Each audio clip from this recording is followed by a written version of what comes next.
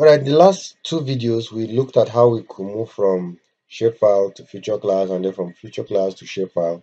This video will be looking at how we can move to it from either shapefile or feature class. We want to move to AutoCAD and we want to use it for something in AutoCAD. So let's look at it quickly. So on feature class, normally is the boundary or the road, anyone you want to go and use on AutoCAD. So once you right click on it, go to export and then to CAD. Now it's asking you if you have more. Actually, this one, if you have more, you can bring all of them together. Alright, so for that, let's just bring in more of them. Um, okay, let's bring in more of them. Alright, so all of them has come in. So it's asking you which of the AutoCAD version do you want it to be. Currently here, I think the highest version is 2018.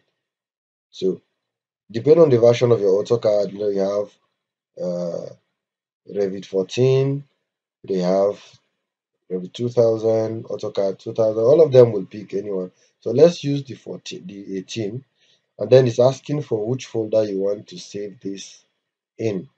Okay, so um, and then asking for name.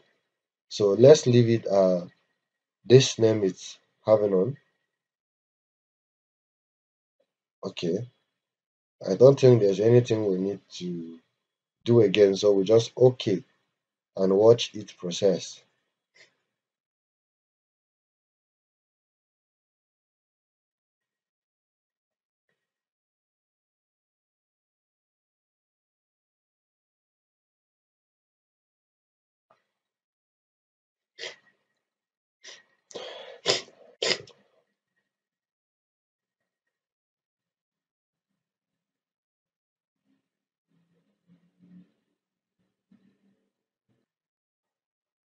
It's quite heavy, so it's going to take some time to process.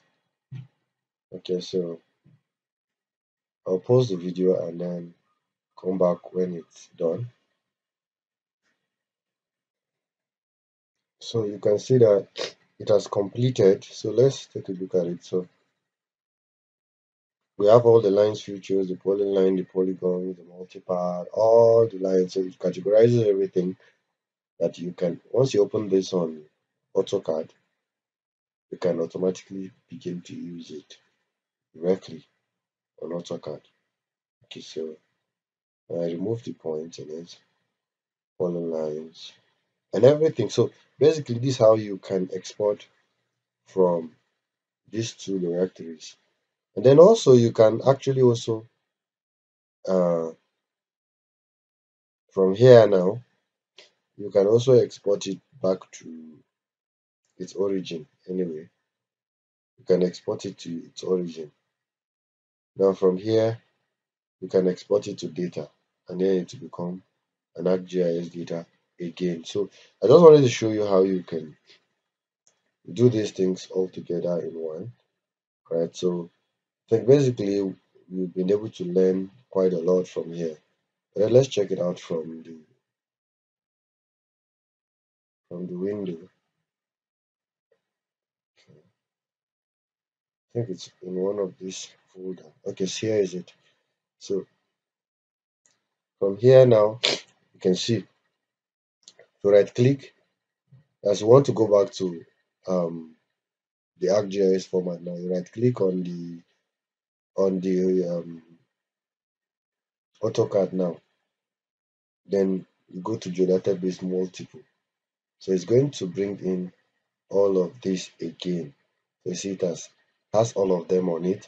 So the, the joy of the AutoCAD one is that you don't need to bring in it. Once I don't select the main AutoCAD and then you right click multiple it's going to bring all of them in. So you just select the geodatabase you want to put them in so let's say is this one we are selecting. Let's see if it's going to enter but I know most of it has.